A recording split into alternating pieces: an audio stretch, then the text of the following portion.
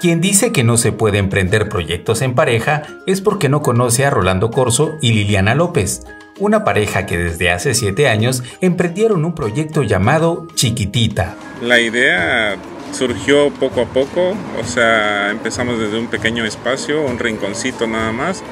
Este, los mismos clientes fueron permitiendo que el espacio fuera creciendo y pues nada, creo que en ningún momento lo planeamos de esta manera. Eso sí, solo ha sido conforme a nuestros gustos, nuestros viajes. Chiquitita es un lugar que nace del amor y sus instalaciones son el reflejo de ello. Iniciamos con la idea de hacer algún pues un espacio para compartir, algo donde podíamos estar los dos en el, al mismo tiempo, no tanto como porque cada uno tenía su trabajo por aparte, pero era el lugar donde podíamos pasar tiempo juntos y pues luego nos fue absorbiendo, tuvimos que dejar nuestros trabajos y dedicarnos completamente a esto.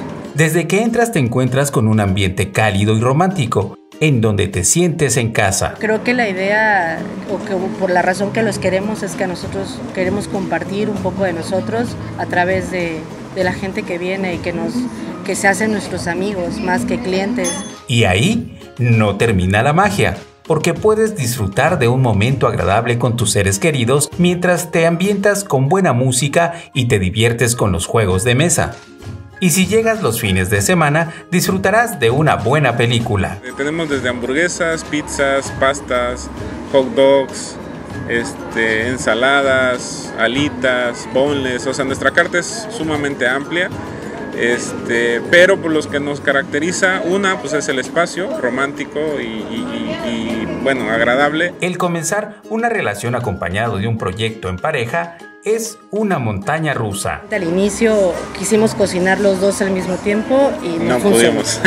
O sea, ninguno de los dos somos chef. Yo soy mercadólogo, él es diseñador y sin embargo intentamos, pero sí la cocina necesita uno.